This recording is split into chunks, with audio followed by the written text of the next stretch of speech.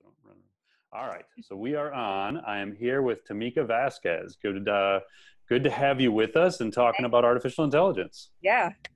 All right, so tell me, you have your bio is fascinating. So you are associate director of marketing at is it Egan Technologies. Am I saying that Egan. right?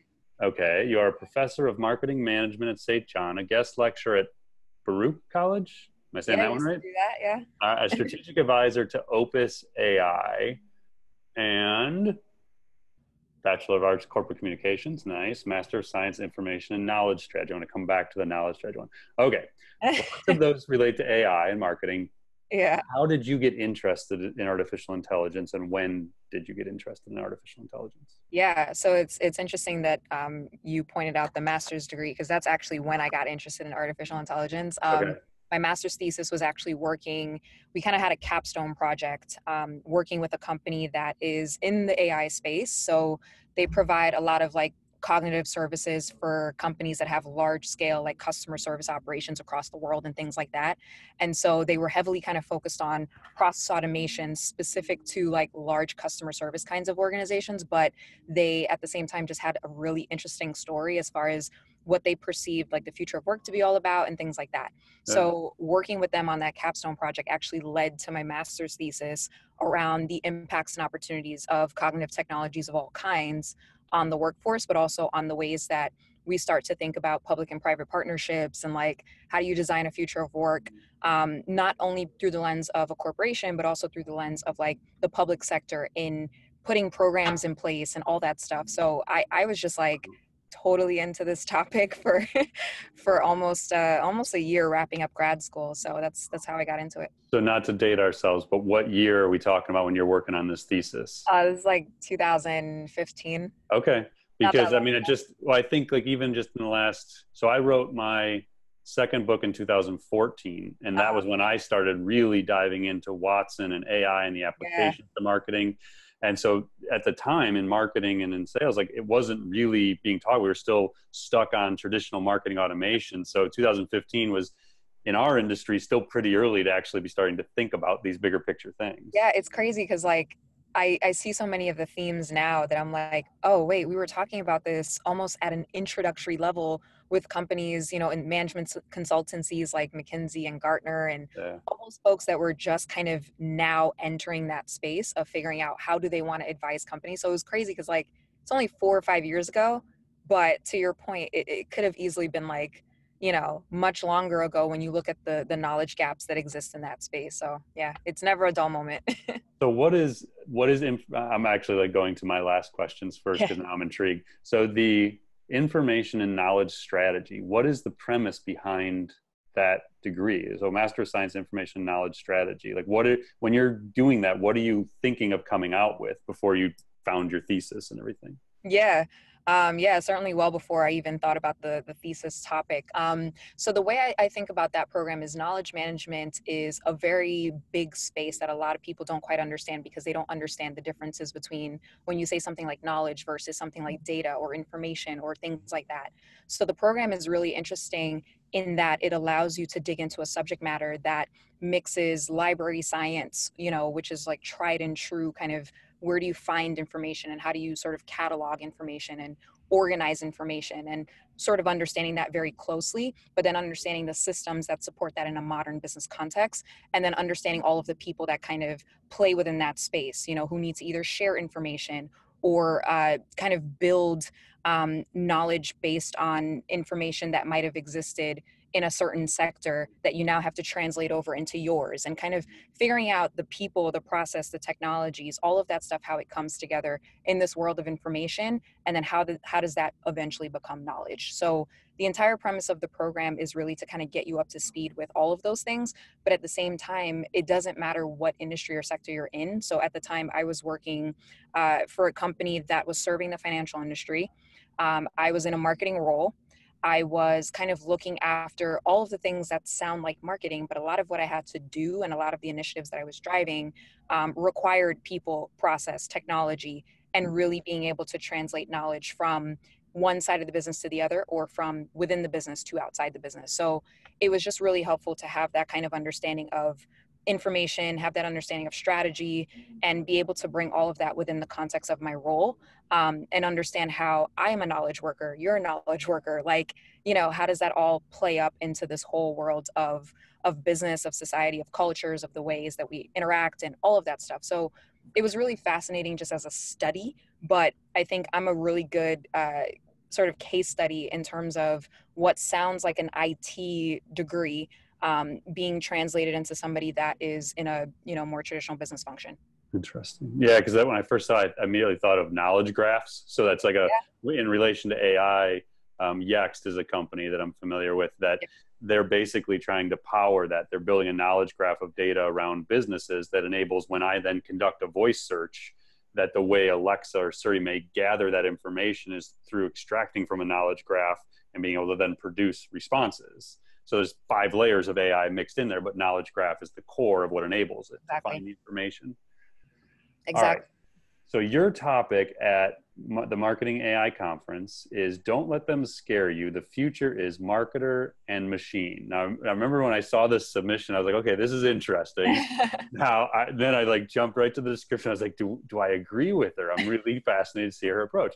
So give me just kind of the high level when you were sending us the idea for this talk what what is your basic premise behind the future is market machine don't let them scare you?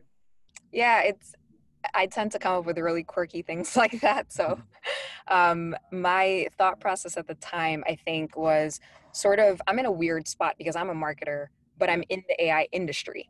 What we're seeing now and why I'm super excited for this conference is we're seeing now marketers kind of looking at the opportunities to leverage AI. So it's a bit of a, a you know, sitting on a different side of the same sort of um, space. Um, and so I think I was sort of in that space of thinking about AI almost exclusively without really putting on the marketing hat. Once I applied the marketing hat, I realized yeah everybody's talking about the hysteria around you know machines taking your jobs and um, things that a machine can do that a human can't and all of these other sort of um, conversations that were happening in the space of ai but then when you put on your marketing hat you're like wait a second. No we need all of that stuff to happen so that we can do what we do much better. Um, and i think you know for me it's just kind of like thinking of this whole marketer and machine future i, I find i find very fascinating.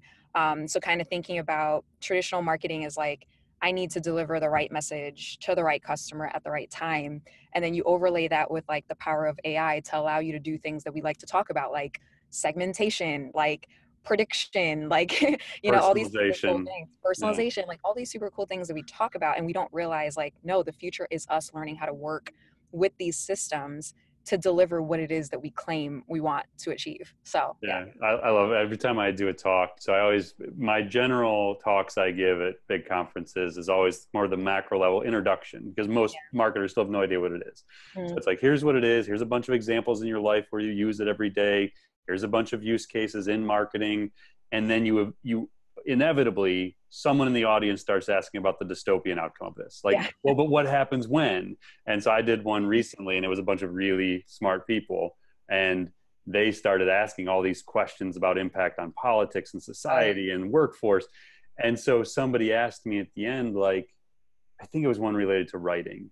And mm-hmm. the lady started her question with like can you can you just tell us it's going to be okay like and she started like basically for 45 minutes she'd sat there worrying that that she was done as a professional. And i try really hard not to give that impression. I am all the mar- all about marketing machines one of the core points i make.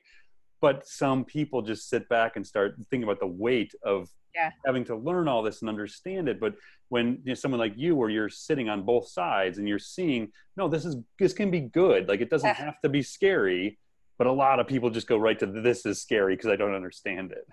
Yeah i mean you know another another thing i like to talk about is like how do we rewrite the narratives of the future?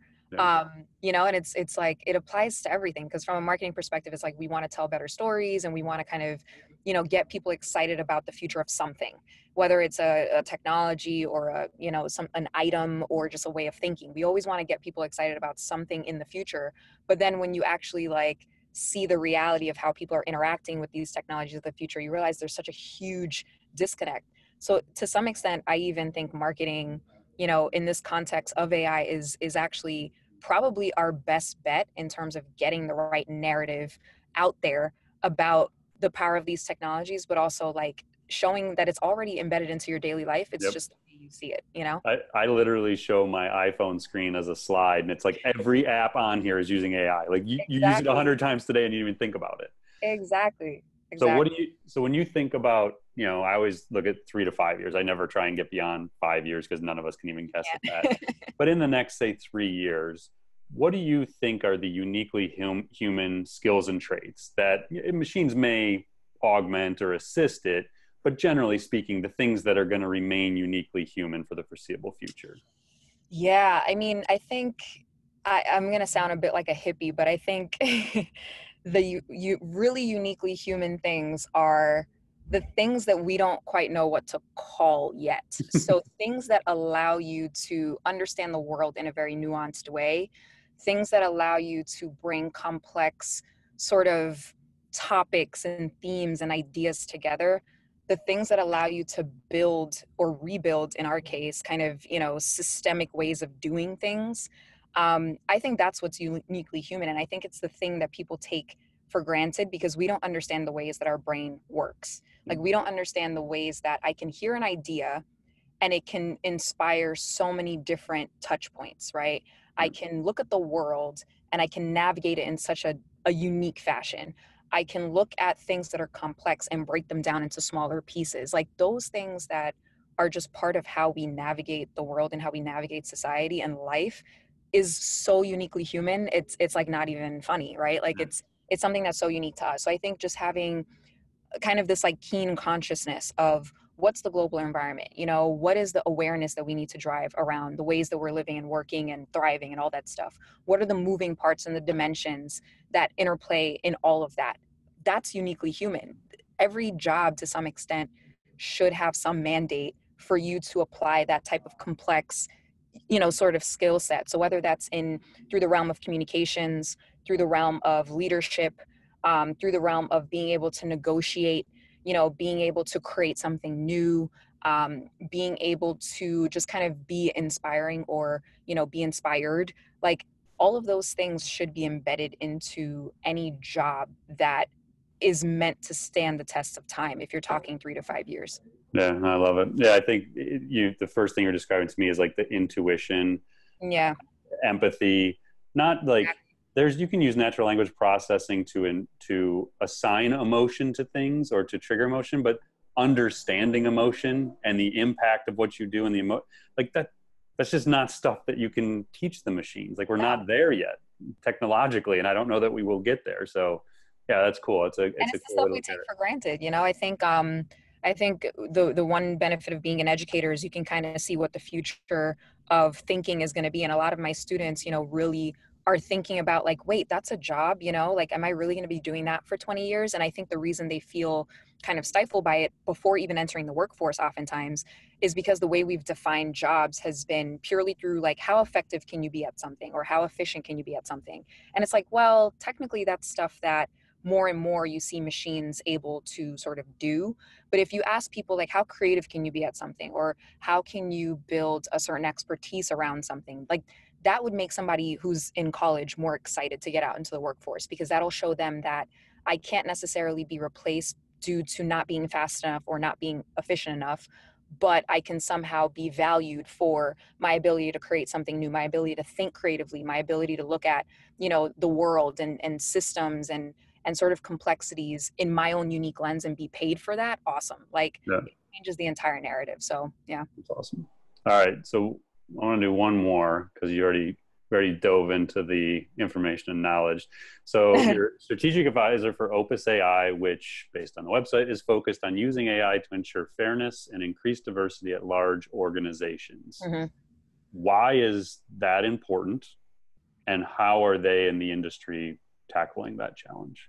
Yeah, so what Opus AI is doing is kind of taking a proven method where you don't have to see a person's name, know their gender, know what city they live in, and things like that as part of your evaluation process of whether or not they qualify for a job. Those are not factors that matter, right? So, what they're doing is taking the proven method of blind candidate screening, where you don't see those things up front and you just purely get a resume that tells you what skills does this person have, you know, sort of things that are actually going to matter for the role itself, um, and being able to produce candidate profiles that are kind of taking out anything that could in some knee jerk reaction way create bias, right? So if you mm-hmm. see a name and you can't pronounce it, that might cause you to react a certain way. Or if you see a city and it's a city that isn't known for anything particularly positive, you know, or if it's a school and it's like, well, my daughter went there. It's like all of those things that could create some sort of reaction of bias, whether positive or negative, they're taking that out